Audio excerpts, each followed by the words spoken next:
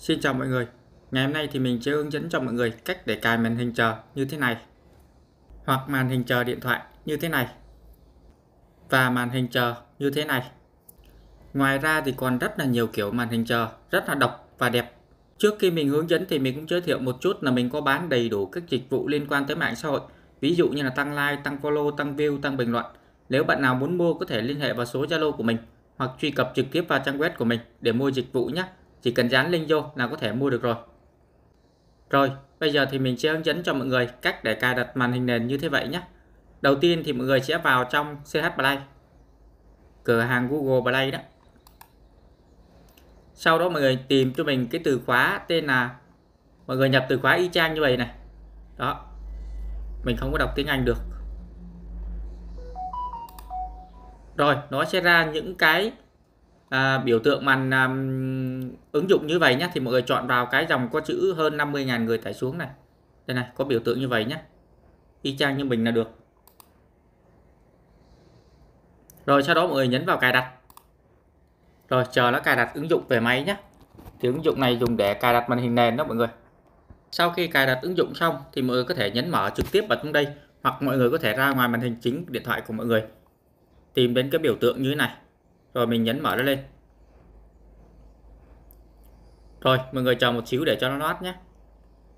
Rồi để hiển thị như vậy thì mọi người nhấn cho phép. Rồi, bây giờ mình nhấn vào nút Start nhé. Để bắt đầu cài màn hình. Ở đây thì nó hiển thị ra tất cả những cái mẫu màn hình mình có thể chọn. Thì đây có rất là nhiều mẫu màn hình nha mọi người. Rất là dễ thôi. Bây giờ mình chỉ việc chọn màn hình. Đây, có rất là nhiều mẫu đẹp. Ví dụ như mình chọn mẫu này nhé. Mẫu này mình thấy đẹp nhất ở trong đây rồi nó lại hiển thị quảng cáo thì người chờ một xíu đây có dấu x này tắt đi. Rồi mình nhấn vào chữ download nhé. Người chờ khoảng à, 30 giây để cho nó chạy. Tức là nó tải cái màn hình này về. Cái này thì rất là dễ.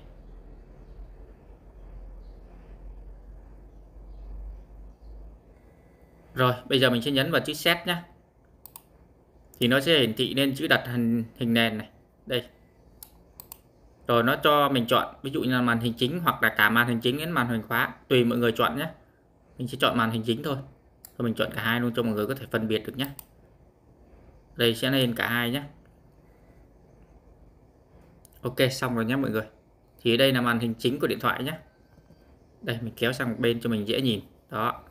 Rất là đẹp mọi người, cực kỳ ngọc còn màn hình nền thì tức là khi mà mình tắt màn hình đi thì mình sẽ thấy được nhưng mà bây giờ mình đang quay màn hình, nếu mình tắt thì không nhìn, không quay video được nữa nên mình để như vậy luôn nhé mọi người. Đó, ví dụ bây giờ mọi người muốn chọn màn hình khác thì vẫn có thể vào trong cái app, mở app lên. Rồi mình sẽ chọn một cái mẫu nào đó khác, tùy mọi người thích chọn mẫu nào cũng được. Rất là nhiều mẫu mọi người có thể chọn. Rất là đẹp, rất là ngầu luôn. Đây, ví dụ như mình chọn cái mẫu màu xanh xanh này đây, mình nhìn thấy nó lạ lạ này. Nhìn có vẻ ngầu đấy độc lạ đây là cái ở trong cái mạch, ở trong điện thoại đấy mọi người. Hình như cái ứng dụng này nó cài màn hình, toàn là màn hình nền lộ linh kiện ở trong cái điện thoại của mình. Nên nhìn nó ngầu. Đó. Đây là hình như là cái CPU cái gì, chẳng biết cái màu gọi là gì nữa.